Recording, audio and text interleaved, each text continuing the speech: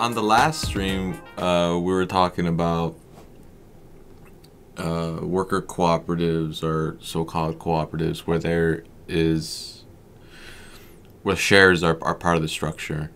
Um, and so I was I was curious of um, if y'all have any thoughts about the situations where the workers who are also the owners have are, are part of this share share system, right? It's a corporation has a share system, and the workers have fifty one percent of the shares or fifty one percent of the vote at board of directors meetings. Uh, fifty one percent, and then other like investors they have the forty nine percent. You know what are, you know how does this what what have y'all seen about how this works out, or what are are there any benefits to this um, to consider, or what are the what are the weaknesses or dangers of that?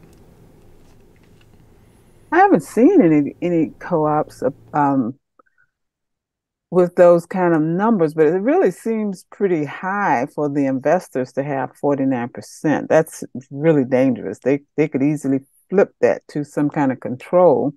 Um, I believe East um, um,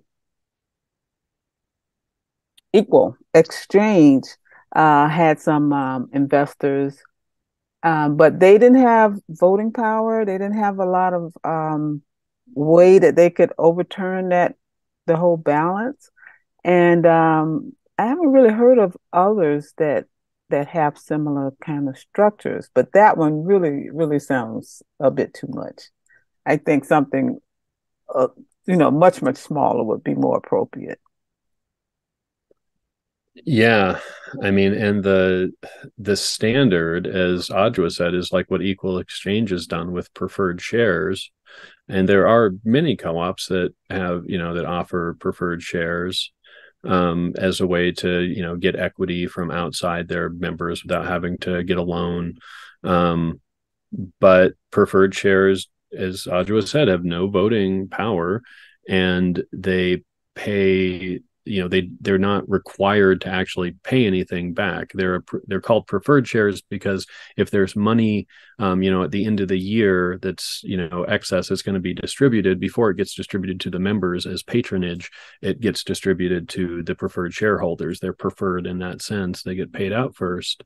Um, but like with equal exchange they have a target rate and uh, the last time i read you know their an article you know that they wrote about it. It was i think their target rate was 6% per year.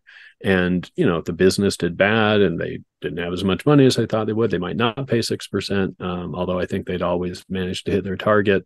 Um, but you know it's but that's the thing. They, it comes with no voting control. So the standard up until now until recently anyway has been outside investors get zero voting control zero board seats and that's because we one of our cooperative principles is independence and autonomy or autonomy and independence.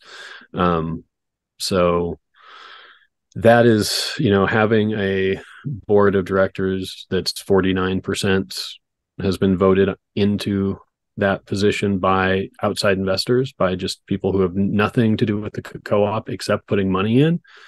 That to me we are now you're two percent, right? I mean, if, if they had if the investors had three percent more, they'd have a majority, and then we'd just be back at capitalism once more. Mm-hmm. So we're you're three percent now back from capitalism.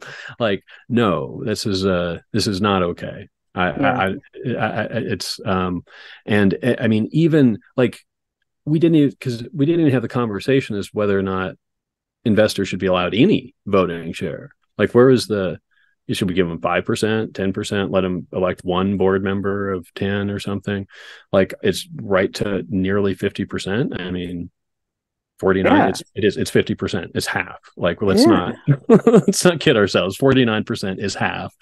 Um and so yeah no i think that's it's it, it's a problem. I it, i'm not a fan of it. I know there are uh a couple of states with cooperative incorporation statutes that allow for this kind of thing, but I think we should really be pushing back on it. And um, yeah, it, it, but uh, it, uh, could ramble on forever. I want to do like, you know, Chris asked, what's the it, argument in favor? I know the argument in favor is going to be it's how you get money, right, for your co-op. You need financing, and so most investors, because they just want to take their big pile of money and make it into a bigger pile of money, they're not just going to, you know, give it to you with nothing for nothing in return or just you know the promise of maybe getting some money.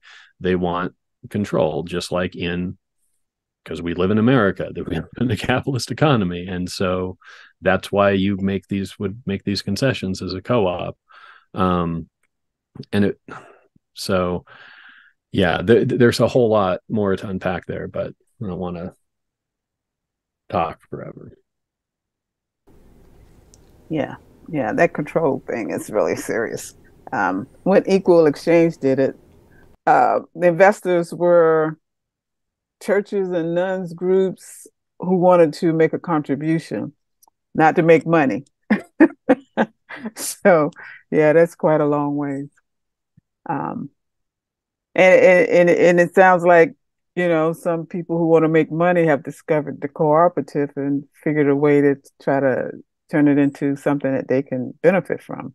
When we have to be on guard against that. Thanks. Thanks for uh, thanks for answering that curiosity I had because um, yeah, I, I, saw it.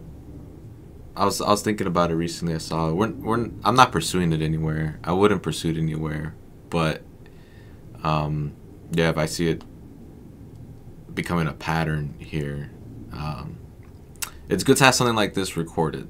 yeah. the last one to you know, just slide someone's way. mm-hmm. Yeah.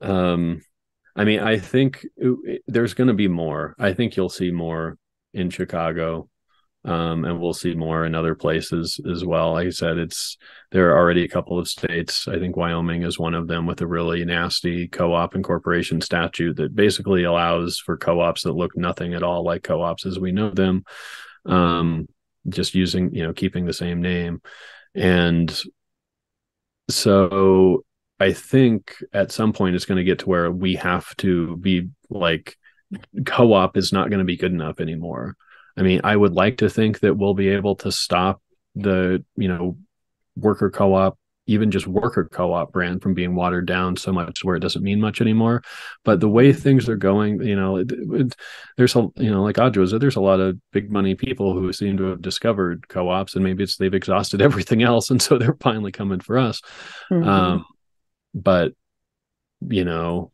what it, it, they're going to keep doing their thing and if they you know keep talking about their co-op stuff and and keep doing you know these 50% investor con- owned quote unquote co-ops it's it is going to get to a point where it's going to have to be like we're going to have to come up with a new name or something that like designates no this is the real ones right. not one of those co-ops right? Right. Yeah they're going to give co-ops a bad name um, something that they did in I think 2004 in Europe, and the ICA had to come out and you know say these guys are not really co-ops because they were really horrible to the workers. And um, so there was a whole movement, even in the U.S. Federation of um, Worker Cooperatives, to define what a worker co-op was, so that these guys could not pretend to be worker co-op. So we may have to go back to something like that where we make it very clear what the difference is. Um, in a real worker, co-op or some corporation masquerading as a worker co-op because that name has you know a lot of pull and people want to support worker co-ops now. And so they wanted to cash in on on the hard work that the co-op movement has done to get people to be in solidarity with workers. And so they want to use it for their own benefits Mm-hmm. Yeah, and I mean, and and I will say, like, I don't want to be just completely negative. Like, I can certainly imagine a situation in which you have one of these co-ops that's fifty percent investor owned and controlled, um, and they start a co-op and they employ a bunch of people, and they do, you know, have a business that makes money and provides you know jobs that are in better conditions and have better wages than your standard you know capitalist job working in you know low wage service sectors. Um I, I can see that that you know that would be a thing. But is that all we're going for? Is that you know should we not just be pushing for a 15 hour minimum wage and medicare for all then? I mean it, it do you know it's like that's it, it can be better than the really messed up situation that we have that's the norm right now and still not be good enough i guess is what i'm saying at least um, from my perspective. So i don't want to make it sound like there's no possible way in which anybody could benefit from any of this stuff you know if it's not a, a, a real co-op or doesn't have you know in, in our view. Um but still I, I, it doesn't mean that it's you know they should come up with a different name for whatever there is they're doing and, and don't call right. it right yeah i think you know your point is we have to be very careful to make sure that it, it really is a cooperative and not something that a corpor- uh, corporation is going to use to just make more money and screw the workers in the end. Mm-hmm. Or yeah just not live up to our ideals like i'm even like even if it doesn't rise to the level of totally screwing people over and like it doesn't have to get that bad to still be like no that's not cool you know? Mm-hmm. um that's and, and, that's what i you know and, and there there are lines to be drawn. There's you know no easy answers for a lot of this stuff because it all i mean there